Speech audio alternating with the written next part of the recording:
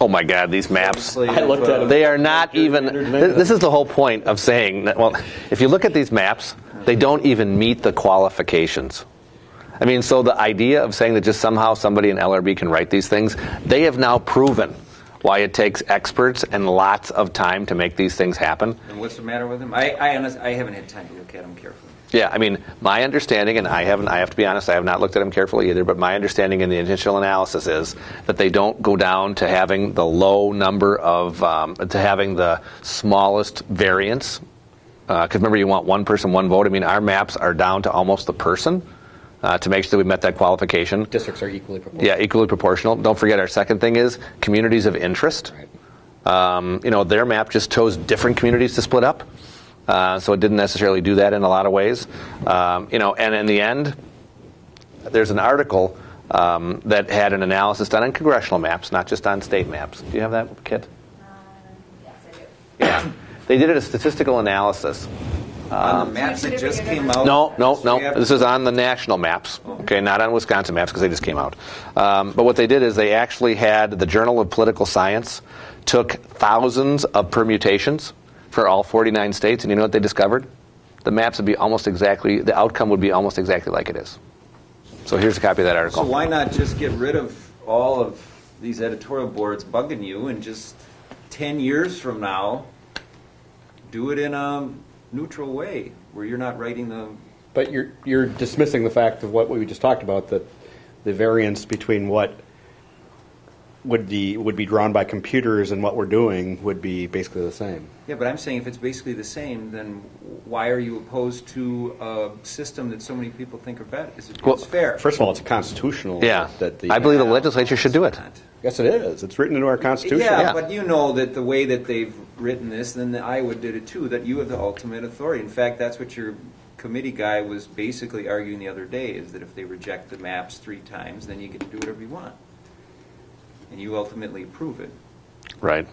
It's one of those things that we are just never going to agree on. Okay, but, but. I mean, I got to be honest. But you're throwing stuff at me here. Why Right. don't we have a public hearing? Why, why are you so afraid just to, to let, have a public hearing? I am never afraid of a public hearing on a topic. This one you are. Call one then? No, because there's no reason to have a public hearing. Why not? We're debating it right here. There's every newspaper in the state it. Yeah. wants it. You had hundreds of people write you letters. Isn't that a reason? Yeah, I mean, I will go back and double check people from my own district. The emails that I got from all of your efforts are almost entirely from Dane County. Well, I know that's not true of the others. And I can't speak for the others. I can only speak for myself. Yeah. I don't know, Jenny, do I get, I don't think I get any. And it was only recently that your, uh, the Racine paper came in and said you should have a hearing too. So Yep. maybe there hasn't been enough time. And I don't know if they told people to write you, but Yeah, we'll see. I mean, I, it could happen. it's not just liberal Madison that's. I can tell you, going door to door or meeting people on the Nobody street, cares. I never hear it, never. And I'm. It's not like I hide in my office. I mean, I'm out in the public a lot. I hear from newspapers. I don't hear from the public. Okay, so that's not, so if every newspaper in the state wants a simple public hearing, That's not enough. of a that's reason. not enough of a reason. So- with hundreds of people and with the AARP. Okay. is the AARP. uh, they don't count for anything? They have a political bias, but they course they definitely, yeah, right. Yeah. They're definitely liberal. I mean, and Oh, that's. they are. Oh my God, I- I yes. don't follow them really carefully. Oh yeah, No, enough. yeah, What's it? yeah, Old enough. Oh. yeah, I just got, I just got my card this week, so yeah. made me pretty happy. So here's the Well, point. They're always pushing for yeah. buying every prescription drug in the book, so I, I don't know that I would call, you know, I guess it would, yeah. Yeah. But anyway. So here's what I would say on that. All right. The reason to have a public hearing is to build support for a bill, so that it ultimately gets a vote and becomes a law. Okay. I fundamentally disagree with the idea, the bill, and the law. So having a hearing will do nothing more than. Any bill you disagree with doesn't get a hearing. no, not necessarily. I, I have a bunch. We have hearings on a bunch of Democrat bills. Isn't a hearing a, a, a chance to find out if it's worthy of moving forward or not? Yeah, but the hearing, we already know all the arguments on both sides. Well, actually, the Senate chair had incorrect statistics in the column she wrote for us. oh, I didn't know which Senate chair. A Oh, did she? Yeah. I, I don't know that. Well, anyway, um, I, I don't know. I just, I just don't see why that's such a big deal. And you know, here in Dane County, it's the conservatives complaining about. I don't know if you read our editorial this morning. Probably. Oh, I haven't read it. I'm sorry. Yeah. But the conservatives are complaining about it because the liberals on the county board put them in the same districts. They put two of the, and so now guess what? There's fewer of them on the, on the board.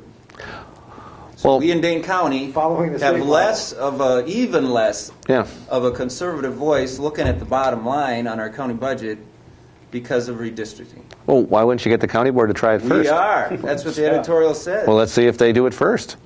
Well, will you give us a hearing then if they do it? If they change their process so it's nonpartisan at the county level, Yes. You'll guarantee me a hearing. I won't guarantee it, but I would definitely consider it. I just believe that the legislature are the people who are elected to draw the maps. We're the ones who are accountable. If people were upset about the way that the maps were drawn, we would not have won election. Do you believe that the maps are not rigged to favor the party in power? Yeah, I believe that the maps are drawn fairly. But the only Yeah, well, they meet all the qualifications. Documents which came from the law firm show that you guys were looking at. Oh, see, these districts will improve for Republicans. Most of them would. Not, I mean, a majority. I mean, the way that you draw districts is arbitrary. If it's under an LRB system, or if it's under the way that Democrats would draw it or Republicans would draw it. I mean, it's just literally arbitrary. Okay, but we have the public hearing for hair dyeing, for the cream puff bill, but we, but all this drumbeat, and, and maybe you dismiss most of it uh, as made up, but we can't have a public hearing. That just seems ridiculous to me. I mean, I will, Especially from you. I mean, you're I know. a good guy. I- I will- you're, you know, I know. an honorable guy. I will again consider it.